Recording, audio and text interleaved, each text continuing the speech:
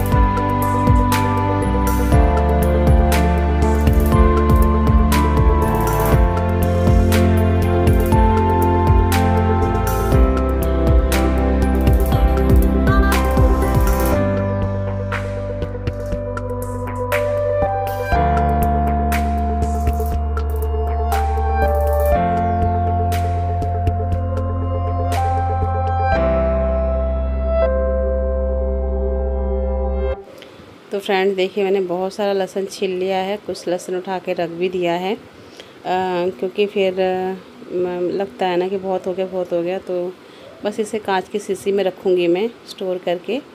तो देखती हूँ पहली बार कर रही हूँ ऐसा काम मैं। अगर कितने दिन चलता है कैसे रहता है तो फिर आप लोगों के साथ शेयर करूँगी ज़रूर। तो ये देखिए अभी तो मैं ही कुछ करके देख रही थी कि भाई इसमें रख के आराम से काफ़ी दिन तक चल जाता है तो देखते हैं।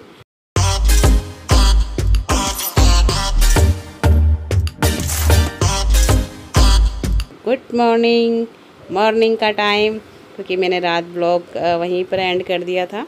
और ये सुबह का ब्लॉग है मेरा। ये देखिए, यहाँ पर आटा मटा गूंद लिया है, सब्ज़ी मेरी कट गई है, रात ही कट गई थी। अभी मैंने उबाल ली है ये। यहाँ लहसुन, प्याज प्याज तो नहीं डालूँगी इसमें, टमाटर, ये देखिए दो आलू। इतनी ही सब्ज़ी में हमारा दो टाइम का आराम से अच्छे से हो जाएगा तो ये देखिएगा।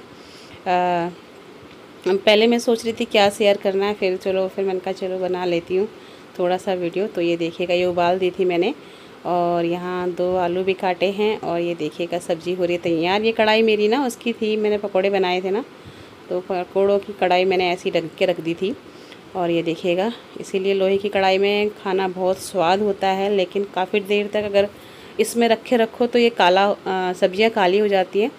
तो मुझे तो कोई प्रॉब्लम नहीं होती, लेकिन फिर बेटा ऑफ़िस लेके जाएगा ना तो काली अच्छी नहीं लगेगी। तो बस बनने के बाद निकाल दूँगी उसके लिए, उसके टिफ़िन में। और बस इसे बनने के लिए छोड़ देती हूँ तो ये देखिएगा, बिल्कुल बहुत अच्छे से, बहुत टेस्टी लग रही है देखने में। काफ़ी दिनों के बाद मैं गवार की फली बना रही हूँ, क्योंकि थोड़ा सा इसमें टाइम लगता है ना तो इसलिए थोड़ी टाइम वाली चीज़ें मैं कम ही बनाती हूँ। तो आप देख सकते हैं, यहाँ पर सब्ज़ी हो रही है तैयार। और बस मुझे तैयार भी होना है। और ये देखिए मैं तैयार हो गई हूँ और नाश्ता भी हो गया है तैयार। तो ये देखिए सब्ज़ी बनकर हो गई है रेडी और ये लग गया है हमारा नाश्ता। तो आ जाइएगा, आप लोग भी नाश्ता कर लीजिएगा। और तो फ्रेंड कैसा लगा आज का ब्लॉग बताइएगा ज़रूर। फिर मिलते हैं कल एक अच्छे से नए ब्लॉग के साथ में। इसी के साथ ओके बाय